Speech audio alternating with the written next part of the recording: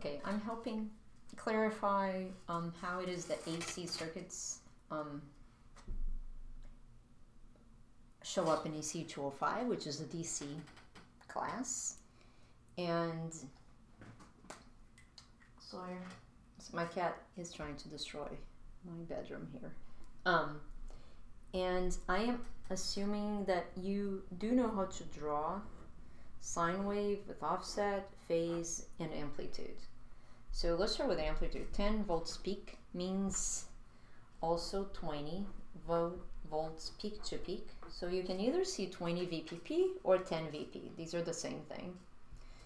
Pi over 2 phase means that the um, y-axis is moved up by um, pi over 2. And minus 5 offset means the signal is shifted down, shifted by minus 5, which means 5 volts down. And 50 hertz sine wave means the period will be 20 milliseconds. So I do expect you to remember that the period is 1 over frequency and that 1 over 50 is 20. So I'm going to first draw this and the question is what is what is V out? In this case I'm expecting you to draw V out. So for now I'm to draw V in. This is to be V in. And here I'm to draw V out. Now look, V out, or this, this circuit here, is a comparator. So V out is always either going to be plus 10 or minus 10. Here plus 10 and here minus 10. But V in is a sine wave.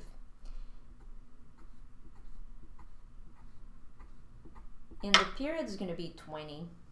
So I'm going to write here 20, 40, 60, 80 milliseconds. So it's it, this is time in milliseconds. And now a sine wave would do this, except that I'm starting already with this at pi over 2. So really it's going to be like a cosine.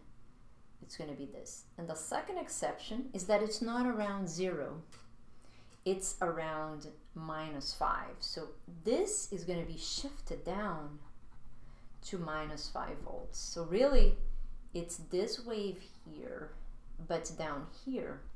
And because it's 10 volts peak, I want to go from minus 5 to 5. That's a bad 10 drawing, so I'm going to erase that. Do I have an eraser here? I do.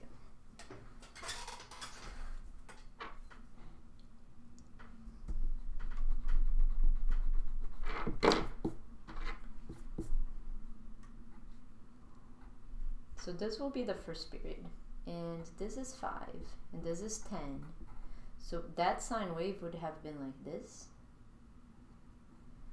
But because it's shifted by pi over 2 there's a pi over 2 phase it starts as a cosine here. And it would have gone to minus 10 but instead it's going to go to minus 15 so what happens is that it starts at 5 minus 5 is the new 0. So the offset of minus 5 volts makes this waveform here be centered around 0. I mean around minus 5, sorry.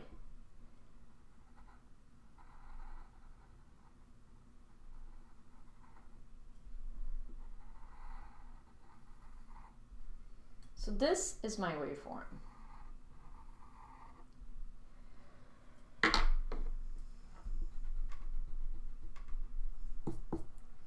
And now let's do the circuit finally.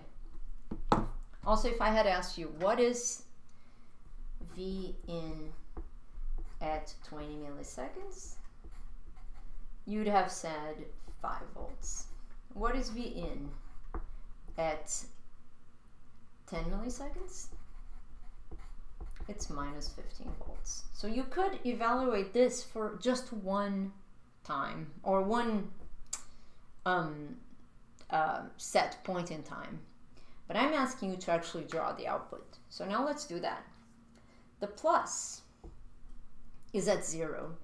So what the comparator does is that it compares this input here with the plus. So when the input is larger than zero, which is the negative input here, V in is larger than zero, the output of the comparator is minus VCC, which is in this case minus 10.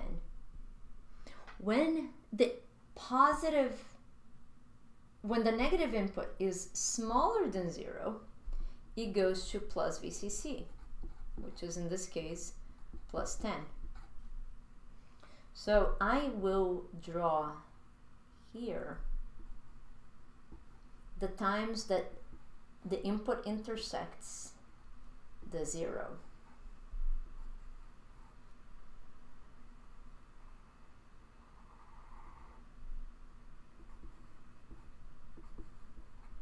And here, the negative input is larger. I'm going to do minus VCC. And here, it's going to do plus VCC. And then here, again, minus VCC. Here, plus VCC. The minus VCC side should have been smaller. Great. So this is the output that I'm expecting. I hope this is clear, but if it's not, please comment and ask me more questions about how to do these problems.